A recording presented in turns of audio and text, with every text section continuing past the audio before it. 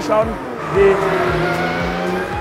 diese wunderschönen und lauten, ja, sehr lauten GT3 Porsche da gerade im Qualifying unterwegs sind.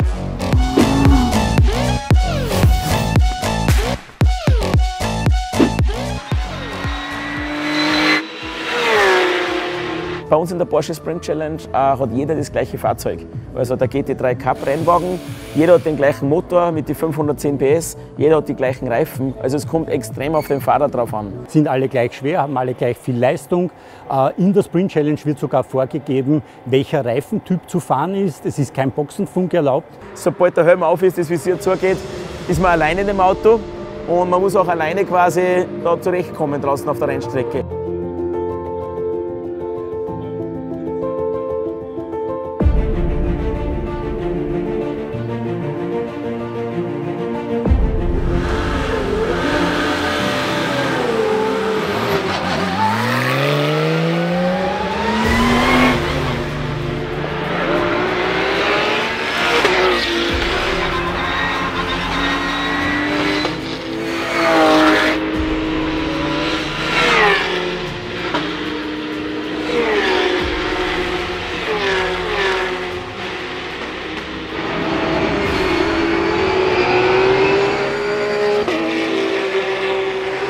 Eine der Kerneigenschaften des Salzburger Rings ist, es kann sich das Wetter innerhalb von Minuten ändern. Wir hatten jetzt zum Beispiel die Situation, die komplette Strecke trocken, bis auf die Nocksteinkehre, die war nass und da gab es eine einzige Trockenlinie und die muss man halt dann finden.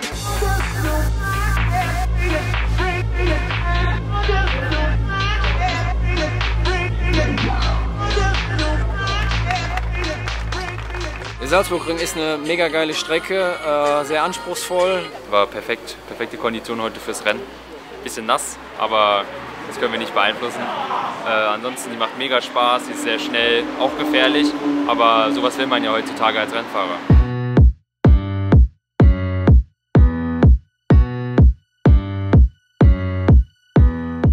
Ja, wir haben natürlich zu 75 Jahre Porsche, passt das natürlich sehr gut dazu. Am selben Wochenende findet ja in Le Mans bereits zum 100. Mal das 24-Stunden-Rennen statt.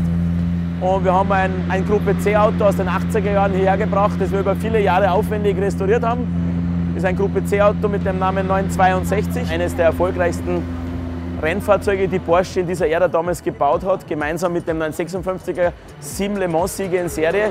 Und wir als Familie Lechner haben dann auch noch die besondere und emotionale Verbindung, dass mein Papa und auch natürlich von meinem Bruder von Walter genau mit diesem Fahrzeug selber damals Europameisterschaft, Sportwagen-Weltmeisterschaft gefahren ist und das für mich schon sehr emotional ist. Und ich werde auch damit heute sowie morgen ein paar Demorunden fahren und für mich mein persönliches Highlight am Wochenende. In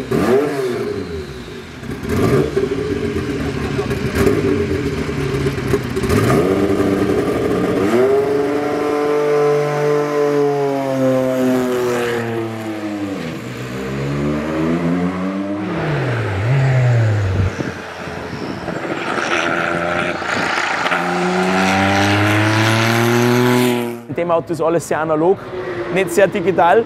Also da hast du als Fahrer noch viel mehr Arbeit, weil du hast kein ABS, du hast keine Servolenkung, du hast nur 5-Gang-Haarschaltung, du hast keine Traktionskontrolle und extrem viele Instrumente, die du auch überwachen musst. Also es ist so wie ja, Autofahren in die 80er Jahre halt war.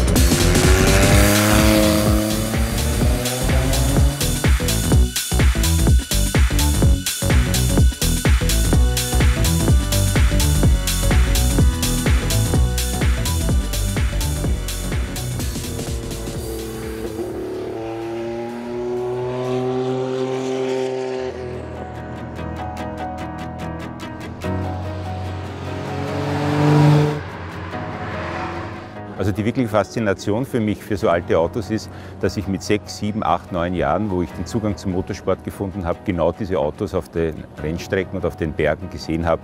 Auf der anderen Seite haben diese Autos alle einen Charakter und dieser Charakter ist das, was fasziniert und deshalb verbringen wir so viel Zeit mit unseren alten Autos. Weil es einfach meine Welt ist und der Oldtimer ist jetzt meinem Alter entsprechend so die letzte Stufe, wo man richtig Spaß haben kann und die Atmosphäre genießen kann. Wir haben heute hier zum Beispiel einen BMW 507. Das ist ein wunderbares Auto aus den 50er Jahren. Der geht gut, der macht Spaß zu fahren, ist ein Cabrio. Viel direkter alles, ja. Man spürt da jeden Stein und ich glaube, es reicht, wenn man da 80 fährt, hat man mehr Spaß als mit einem anderen Auto, wo man 180 fährt.